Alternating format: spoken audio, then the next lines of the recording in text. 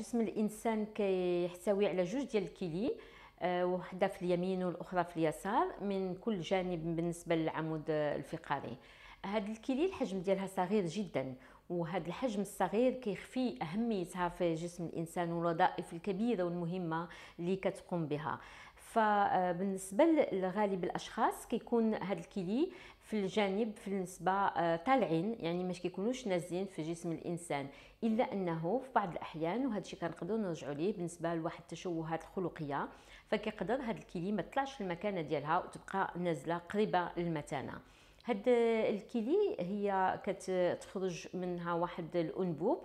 هاد الأنبوب اللي كينزل باليمين واليسار حتى كيوصل للمتانه كيتجمع المتانة اللي هي بحال واحد الركيز اللي كتجمع فيه البول وكيبقى آه، حتى كيبغي يخرج من جسم الإنسان كيخرج كذلك عبر واحد الأنبوب صغير صغير جدا. آه، هذه هي الكلي والمسالك البولية بالنسبة للشكل ديالها. آه، بعض المرات كتكون واحد الشكل يعني ما دايراش بصفة 100% كما معروفة في غالب الأشخاص إنما تيكون عندها في غالب الأحيان كيكون عندها حتى شي تأثير على العمل ديالها. هاد الكيلي كل وحدة كتحتوي على وحدات يعني وحدات اللي كتقوم بالأعمال اللي تقريبا سميتها النفرون واللي كان موجود فيها مليون من نفرون في كل واحد كيلي. واحد العدد هائل من هذه الوحدات اللي كيقوموا بأعمال وأعمال مهمة 24 ساعة على 24 ساعة آه، طول الحياة ديال الإنسان وقبل ما تمرض هذا الكلي. فهذا الوحدات هي مهمة كتقوم بتصفيه الدم من جميع البقايا ومن جميع المياه الزائدة والاملاح الزائدة.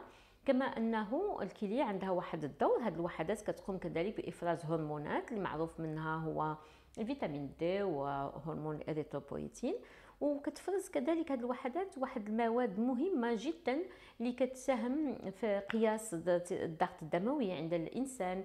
آه، وحدات كتدخل في واحد العديد من الوظائف اللي كتكون في جسم الإنسان الخاصة بالمناعة.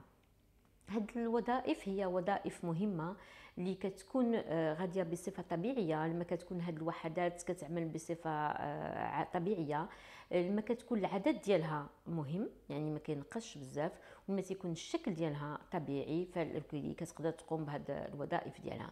لما كتبدأ واحد النقصان أو لا واحد المرض اللي كيهم هاد الوحدات العاملة اللي سميتها ال néphron فهاد الوحدات آه، فيها كذلك واحد القياسات صغيرة من هاد ال néphron اللي هو ال glomérule وال tubule اللي هما آه، نرجعوا لهم بالنسبة للأمراض اللي كتقد تهم الكلي. فهاد ال glomérule هاد ال tubule ما كيمكنلوش نشوفوه مثلا بالفحص بالصدى أو بالأشعة إنما كنشوفوه بالفحص. بالنسبة لل histologie يعني بالميكروسكوب باش نتأكدوا من سلامة أو لا من المرض اللي كيقيس هذا ال glomérule كنعرفوا بأن أمراض الكلي هي صامتة وما تعطيش واحد الاعراض كبيرة اللي كتقدر تثير انتباه المواطن باش يمشي يزور الطبيب ويحاول يتعرف واش هناك مرض في الكلي. إنما كنبغيو نشيروا بأن خصنا نعطيو واحد الأهمية كبيرة جدا لبعض الأعراض اللي كتبان لنا سهلة. مثلا انتفاخ في العين. في الإنسان كيصبح في الصباح منفخ في عينيه غالب الأحيان كنقولوا انه كاين هنا غير واحد الحساسية. كنعيروش واحد الاهتمام وكيقدر داك الانتفاخ يمشي وحتى كيبان ويظهر من بعد واحد المدة كمرض أصعب واخطر كالبداية ديالو. كما هذا الانتفاخ كيقدر كذلك يهم الارجل ويتنفخ لنا رجلينا كيقولوا واحد جلس بزاف أو ما تحركتش كاين هذا الانتفاخ. لا أي انتفاخ بان في الأعين أو في الأرجل فلا بد من زيارة الطبيب للتأكد بأن ما كاينش هناك واحد المرض آه، في الكلي. آه، كاين هناك أعراض أخرى. أعراض أخرى مثلا تغيير لون البول. فكنعرفوا بأنه البول هو كيخرج كما قلنا كإفراز من إفرازات الكلي وهذا البول كيقدر يتغير اللون ديالو كيقدر يولي اللون أحمر أو لا على شكل مركز يعني بحال اللي كنقولوا ليه بحال كوكا كولا أو لا بحال أتاي.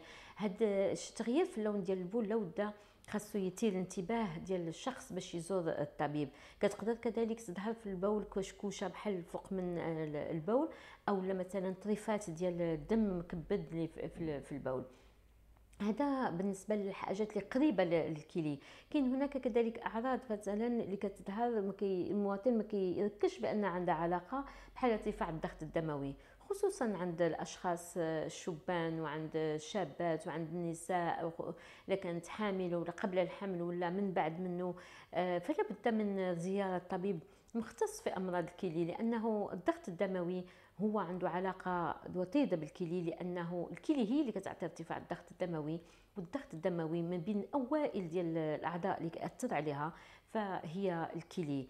اذا لابد باش دائما نحاولوا نركزوا على هذه الأعراض اللي هي قليلة قليلة جدا خصوصا في المراحل الأولى. لما كت تزيد ديال الكلي وكيصعب أو لا كيظهر فشل في الكلي.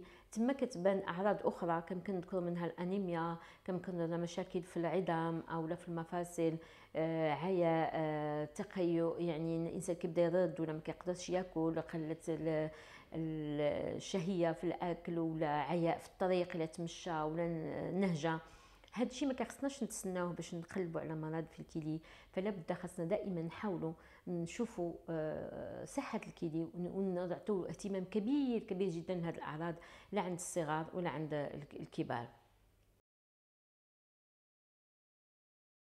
هي في غالب الأحيان أمراض الكلي سهلة في التعرف عليها قد ما هي صعبة في العلاج ولا في الأعراض ديالها فهي سهلة في التعرف عليها. فيمكننا نديروا واحد الفحص بواحد ال bandelette بالنسبة للبول. البول أش كيمكن يبين لنا؟ كتملي من هاد ال bandelette كتقدر تبين لنا واش كاينة هناك بروتينات في البول؟ يعني اللي كيسموها الناس غالب الأحيان الملحة ما هي بروتينات في البول. واش كاين هناك دم في البول؟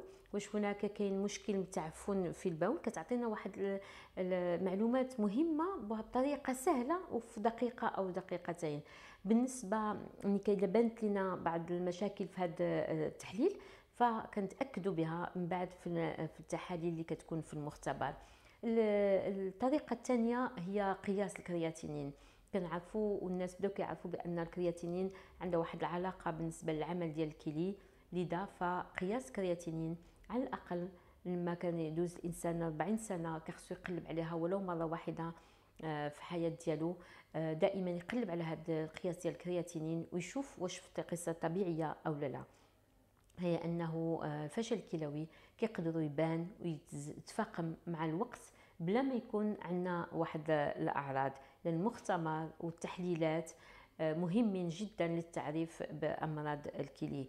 الفحص الثاني واللي هو سهل هو الفحص بالصدى اللي كيعطينا فكرة على القياس على الشكل ديال الكلي واش القياس ديالهم باقي طبيعي. والشكل ديالهم طبيعي أو لا كاين هناك مشكل اللي كنقدروا نزيدوا نبحثوا فيه آه، مثلا بالسكانير أو لا آه، بتحاليل وفحوصات أخرى. كما أنه الكلي كتختص خصوصا بالنسبة لبعض الأمراض بالفحص ديال الميكروسكوب. يعني فحص ديال من بعد واحد ما ناخذ واحد العينة من الكلي واللي هي كتكون مهمة للعلاج ولتتبع أمراض الكلي. فهادو تشخيصات آه، سهلة في الأول اللي كيقدر يديرها الإنسان باش نعرفوا شنو هو المرض لأنه كيخصنا نعطوه العلاج اللي كيخصو قبل ما يفوت الاوان وقبل ما تظهر الفشل الكلوي